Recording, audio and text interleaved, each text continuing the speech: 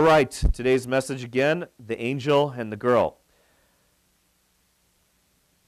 John the Baptist's birth was foretold by an angel, the angel Gabriel, and he spoke to this elderly priest named uh, Zechariah and scared him. And he appears before Zechariah and says, Your prayers have been heard. And we focused last week on the fact that God hears your prayers. When we just prayed right now, God in heaven was listening. When you're taking a shower and you're thinking about the day and you start to pray, God is listening. When you're driving your car and your eyes are wide open because you're paying attention, you're driving, but you're talking with the Lord, God hears your prayers. God hears our prayers. And, uh, but Dad pointed out, Zechariah and his wife Elizabeth, they had actually probably, because they were stricken with age, they'd probably given up praying for a child a long, long, long time ago. From God's perspective, He always planned to keep that promise. He, he, he planned to answer their prayers. But it wasn't in the timing they expected, certainly not in the way they expected. And uh, here he was, still faithful, still serving, probably thinking, well, you know, some of our prayers God's answers, some of their prayers God says no. Apparently, God's not, who, who, you know, expects to have a child at that age? But God heard their prayers and he gave them a little boy and he said, He's going to be a source of joy. You are just going to be so, you're going to rejoice. Many people will rejoice over the birth of this child. This is a beautiful picture of a faithful couple. One of the things I love to see in life is, uh, is an old warrior an old uh, person who's been s- serving Jesus all their life, who have been living out a life of faith in the good times the bad times. I love to see couples that have stood the test of time, couples that are together, not because life is easy, but because they're putting the Lord first in their lives. And, and you see a, an old gal and this old guy, and they, they want to honor Jesus with their lives. They want to do what's right. They want to be an example and living good lives. This, this old couple, this, this priest and his wife, they prayed. They were still praying. They were still serving. This wasn't just a something they went through when they were a teenager or a young adult or we have kids, so let's go to church.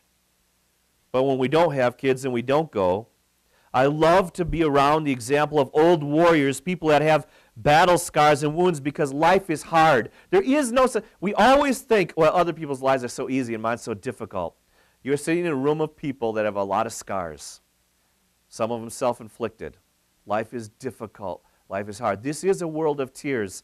Thank goodness we have a God who loved us enough to come down into this darkness to offer us salvation. But this is a hard world, a sad world. And when I see two people that are still together, still holding on to each other and holding on tight to Jesus, that is something that is something that puts uh, uh, awe in me. And I want to learn from them. This couple, don't ever think for a moment they had less troubles than anybody else. But they walked through their troubles and they brought glory to God. Again, what do we always say?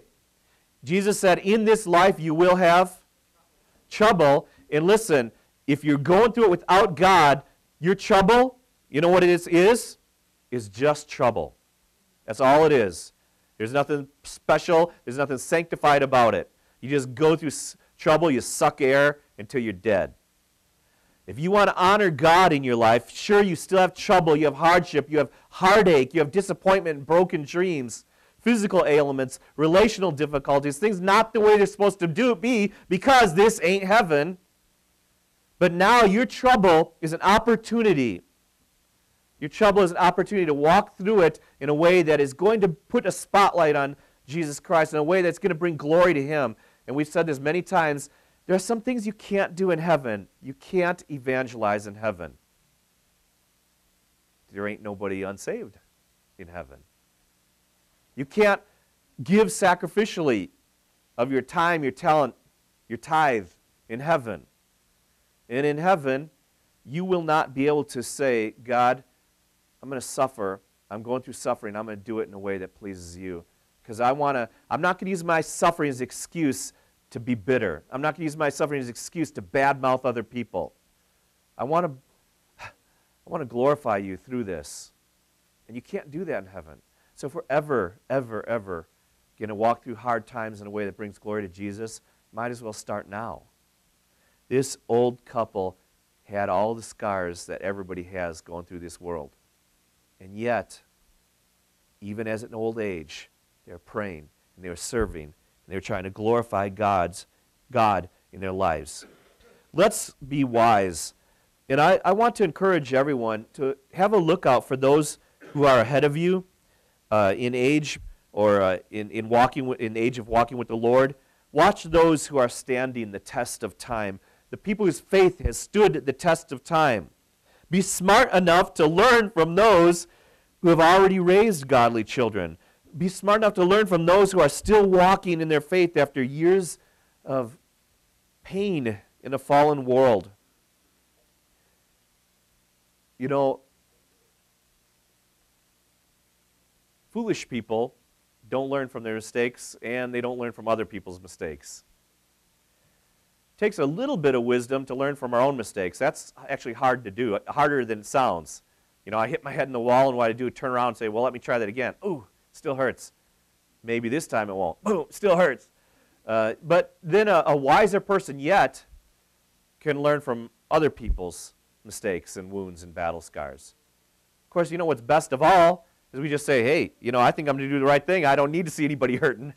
I don't need to, I don't need to hurt myself, and I don't need to see anybody else hurting. Let's be wise, and we can learn uh, from watching other people's walk. What, what did they do that helped them get through the, how did they hold on during those sleepless nights? How did they hold on when they were worried about their kids, about their finances? Who's still walking in their faith? Watch Listen, learn. Who has joy? Listen, I don't care how much Bible you know. If you don't have joy, pay attention to the person who has joy and learn. Be humble and learn. Who has peace? Not the person who's always complaining. You don't need to learn from them.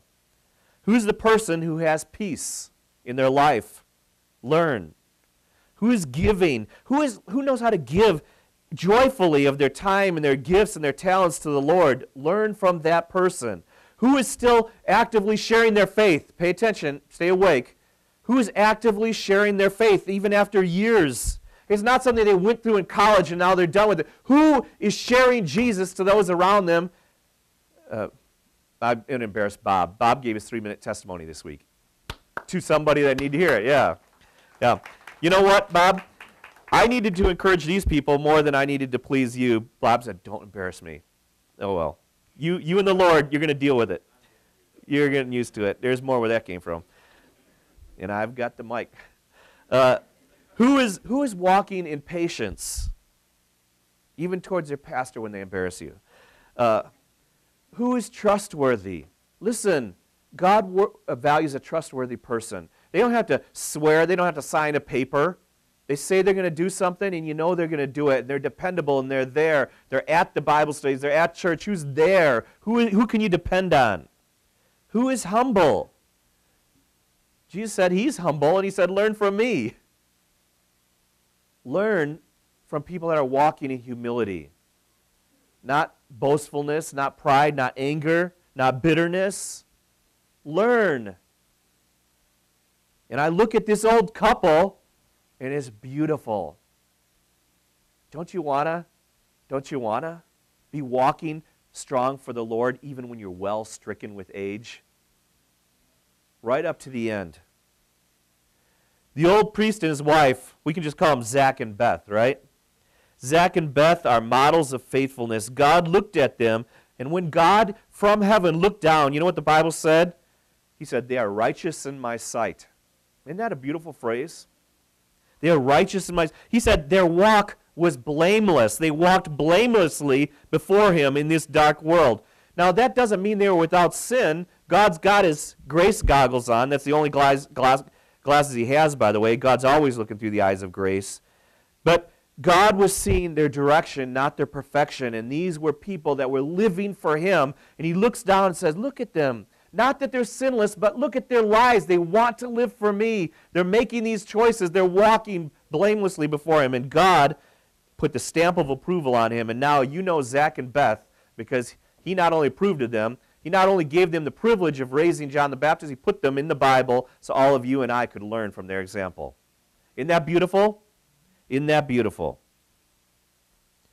Today, we're going to shift gears talking about an old married couple, and we're going to look at an encounter with the same mighty angel, Gabriel, who stands in the presence of the Lord, and he's going to meet somebody else, this time a little girl who's not yet married, although she's engaged. A little girl named Miriam or Maria or Mary. We're going to shift gears from this amazing temple that King Herod built, one of the wonders of the Roman world, unbelievably beautiful, unbelievably richly ornated, to a humble home in a small town of Nazareth.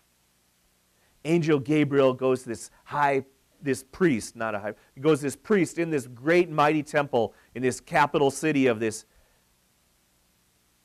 ancient realm. Then he goes to this little town, to a little home where there's a little girl. Mary was not wealthy. But in fact, by our standards, we would consider her poor, but maybe not by the standards of her day. We don't know. She was a, a member of an oppressed people group. The Jews were occupied by the Roman Empire, treated unfairly. They were ruled by a puppet dictator. So it's not only a dictator, but he's a puppet of the mighty Roman Empire.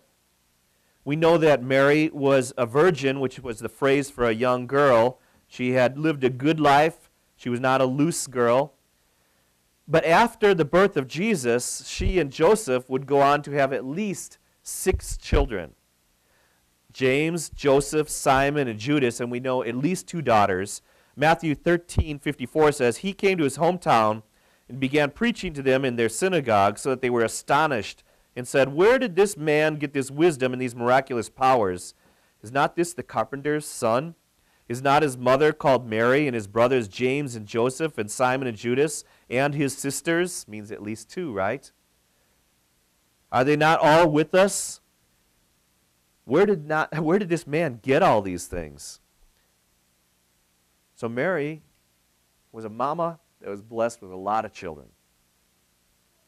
Many people believe that for a good chunk of her life, she was also a single mom because it seems as if Joseph must have died young because he's mentioned at the beginning of Jesus' life. Of course, he had, you know, seven plus kids.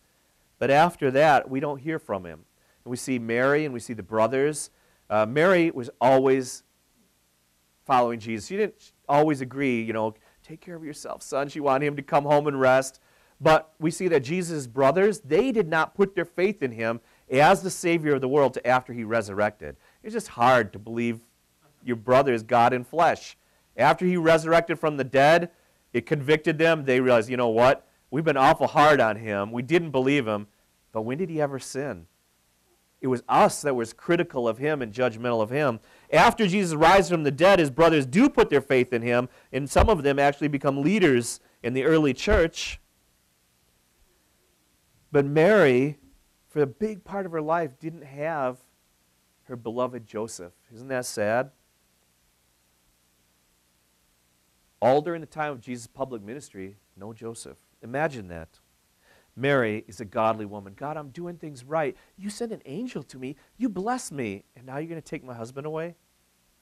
How do you think that felt for Mary? Married to a godly man. Both of them were able to hear from God, both of them knowing that he would grow up to be something special. They talked about it. Our son is special. Imagine what he's going to grow up to be.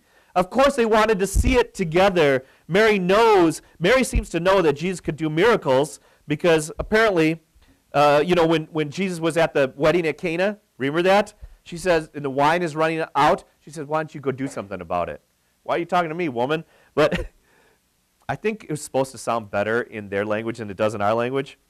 But but she knew Jesus had this miraculous power, and I'm sure she and Joseph wanted to see what Jesus would become together. And when Joseph died, however he died, we don't know. Carpentry accident, got a chisel, and you know what? I don't know. That was a little graphic. That was not even in the notes, by the way, but I don't know. You're hitting on a hammer and you know. However he died, sickness, ailment, do you think that Mary prayed? And she's got the Savior of the world in her house. And Jesus didn't heal him, apparently. Didn't raise him from the dead. Think about that. Mary was intelligent. She was a brilliant young lady. Uh, we're not going to get it today, but she has this song that she writes called the Magnificat that is just beautiful. It's an she sings it, she composes it. It's not some cutesy, simple teenage teeny bop song that you might expect from a teenager. It's a song about faith. It's a song about thankfulness, justice. And there's this strong assurance in the goodness of God throughout this song that this young lady writes. I keep saying young lady, little girl. She was also very, very young by our standards. In that day and age, everyone tended to marry very young. Few people married after their 20s. Most everybody married in their teens. Mary could have been, when she was engaged, as young as 12 uh, most girls probably married around 15, 16, 17, and usually the guys were a year or two older. Uh, after, shortly after this time, the Jewish rabbis actually set it in stone that to get engaged, a girl had to be 12 and a boy had to be 13, and they usually waited a year. But uh, so she could have been as young as 12, but maybe around 15, 16. So she was a young lady, a woman without wealth or social status. There was nothing from a worldly point of view special about her. Let's look now in Luke chapter 1 to see how maybe God looks at things differently than human, human culture does. Luke chapter 1 from verse 26.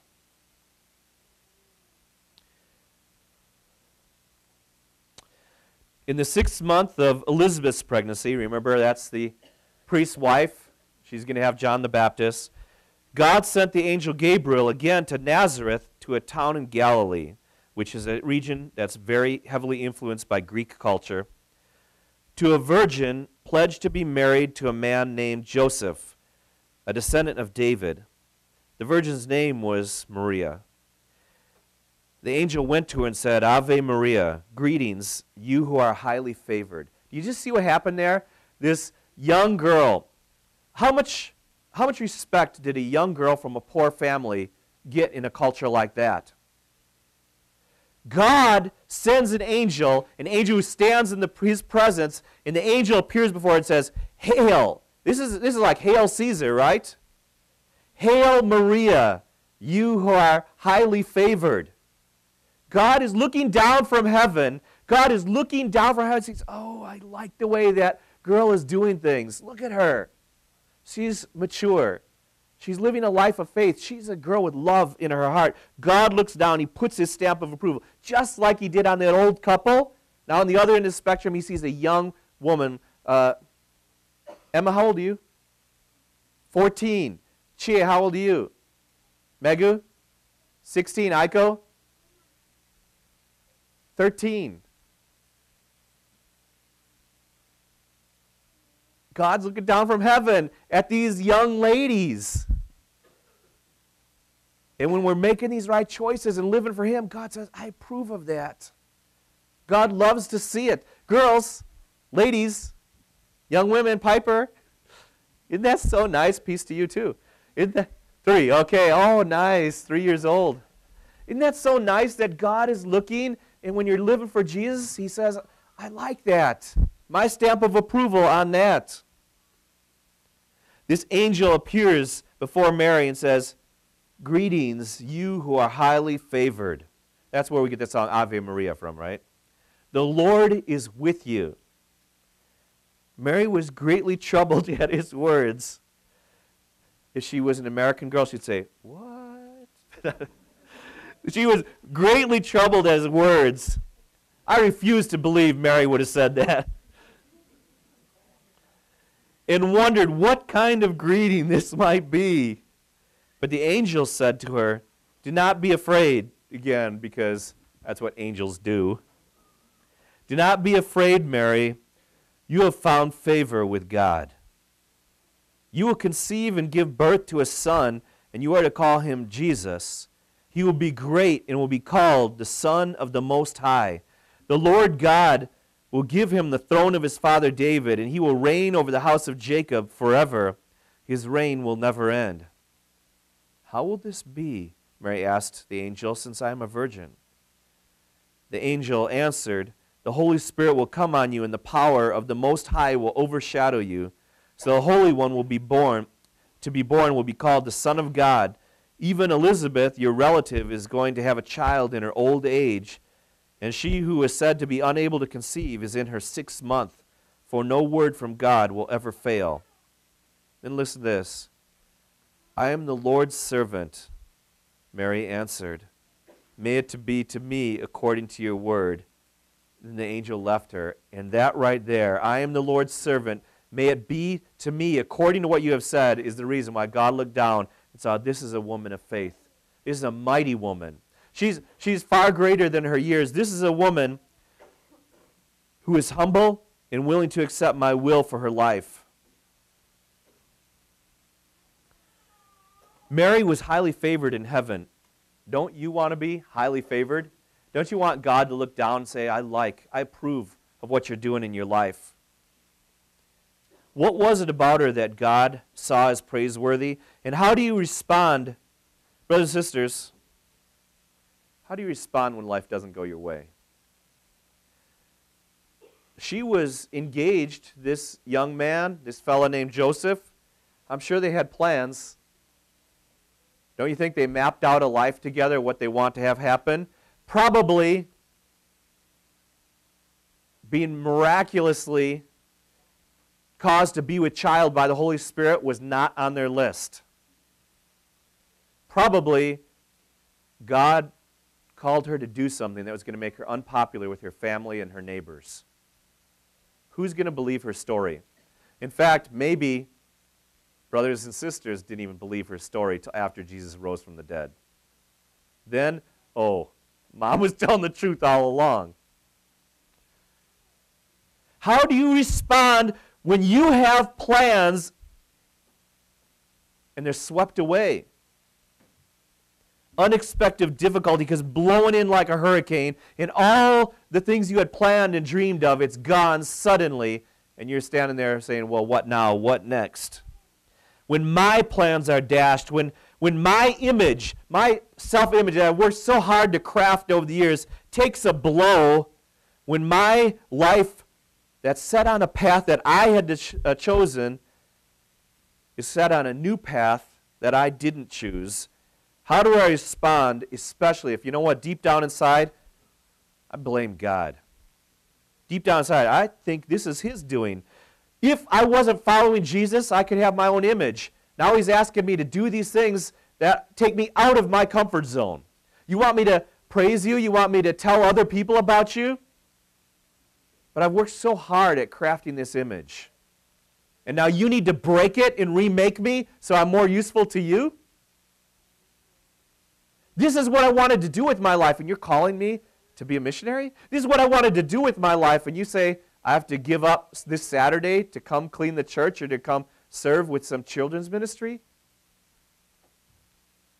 And God shifts our life dramatically. Lord, this is your fault, isn't it? And he says, Yeah. I'm your God. And I am calling you on this path. How do you respond? You know, we can often guess and we can blame God for things maybe He's not responsible for, but Mary didn't have to guess, did she? An angel stood right in front of her and spoke plainly, and her life was shattered in a moment. And her response reveals this incredible character, this beauty, this inner strength. her humility. She said, I am the Lord's maidservant. Actually, the phrase literally is doulos, which means slave, sometimes translated bond slave, which was a voluntary slavery, a voluntary submission. She said, Let it be done to me just as you have said. Lord, I'm sitting here in the hospital. Let it be done unto me according to your will.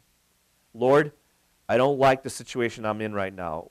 Let it be done unto me according to your will. This is what faith looks like. This is what faith looks like. Faith is not willing God to do what you want.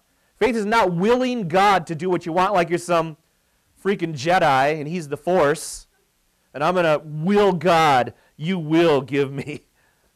That is not faith. That's superstition. That's magic trying to manipulate God somehow. Faith is receiving, willing to receive, willing to accept what comes from the hand of the Lord. Humble ourselves to the mighty hand of the Lord.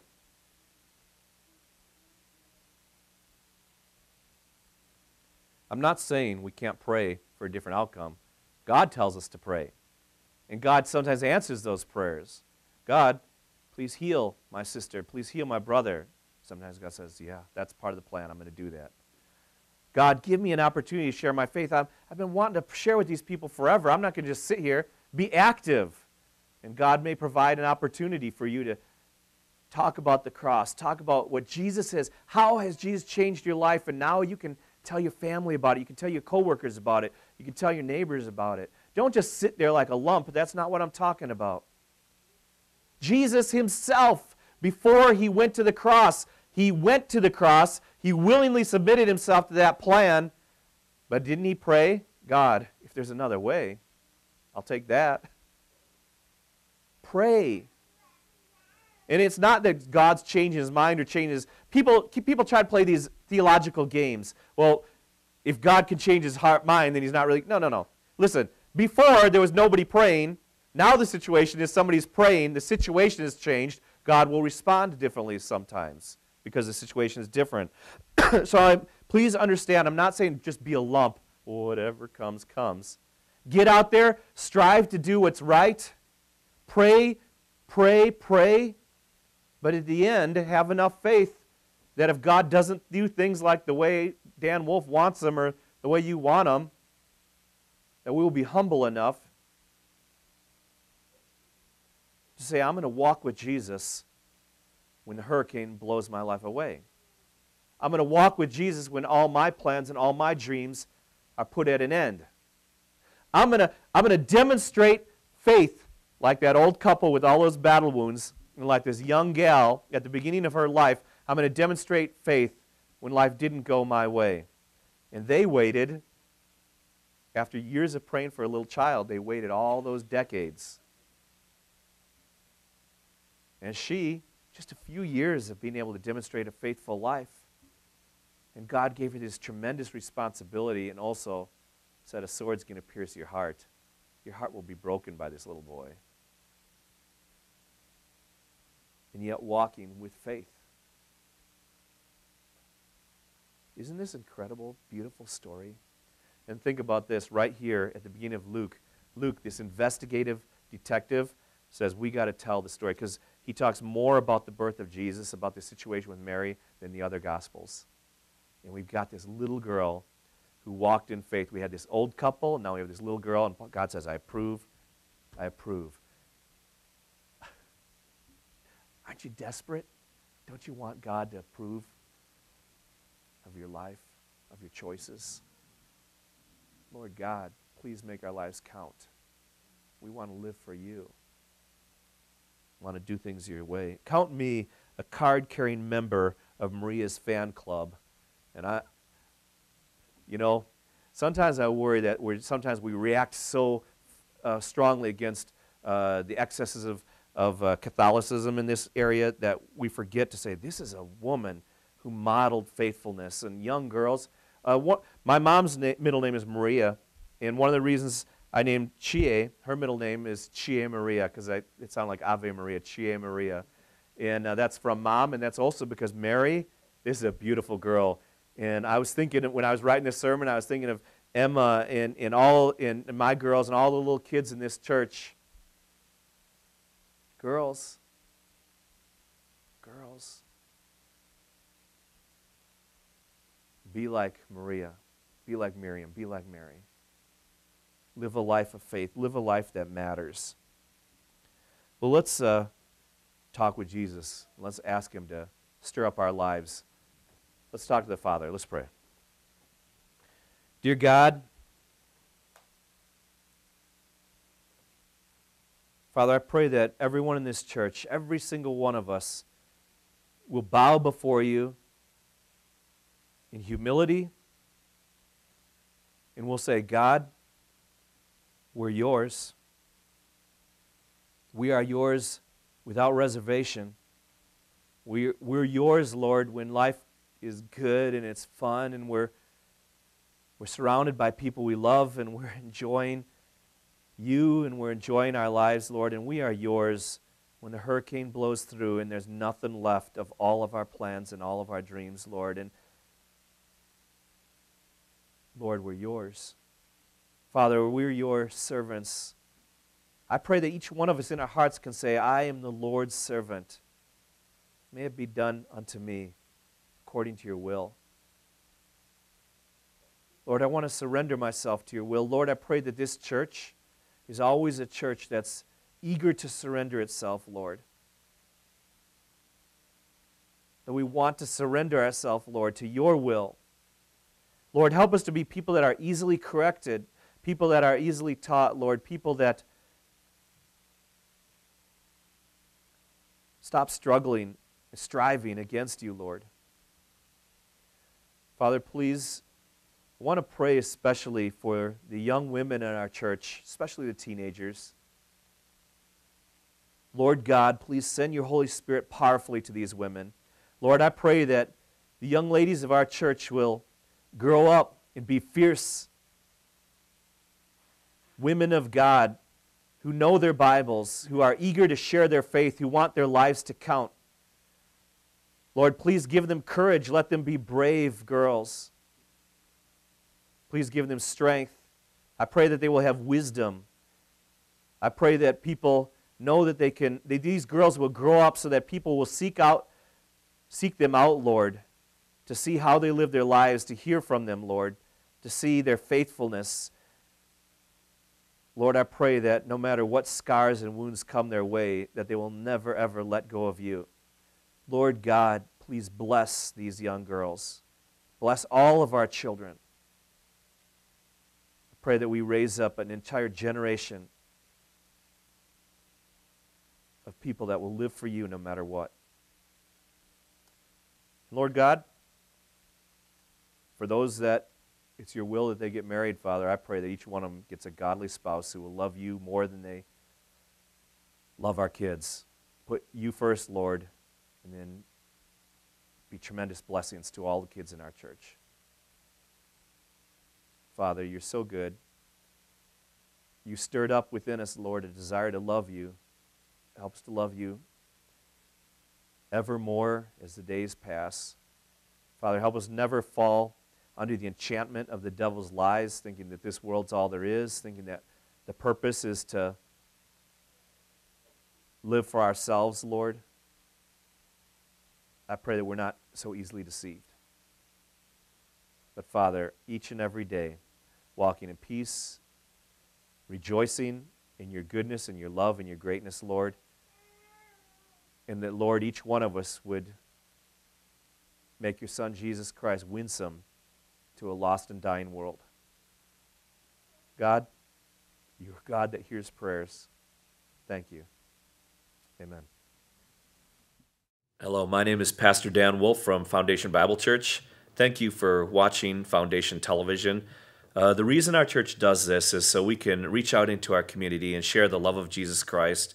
We have a good God. We have a God who loves us, a real God who really cares, and it's He's put it on our hearts to try and uh, share this message that God is there for people, that there is God who's willing to meet them where they are at and to love them and forgive them. But it's also on my heart that uh, there's parts of church that you just uh, you just can't experience in front of a television screen or on a computer screen.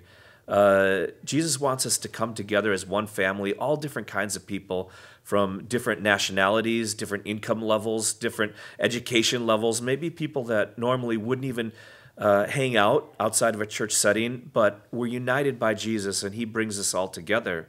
But I really want to encourage you, if you're able to, to take that step, leave your comfort zone at home, uh, find a good church to go to. We have so many good churches in the area. And I'm sure you're going to go there. You're going to be loved. You're going to be blessed. You're going to be encouraged. People are going to care about you. There's no reason we have to do life alone at home, but we can get out and meet with other people who are on this journey to, to, to know God better and to allow Him to reach into our lives and, and uh, let His grace rest upon our lives. So, uh, again, I just want to encourage you. Thank you for watching. But if you can get out on a Sunday morning, boy, we would love to see you. Thank you.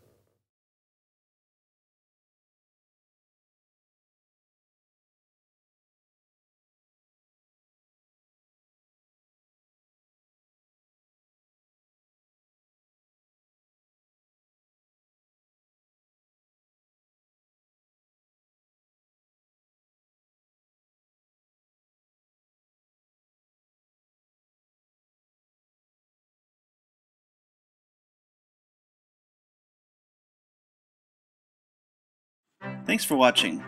Foundation TV is a ministry of Foundation Bible Church, Janesville, Wisconsin. Find us online at foundationbiblechurch.com.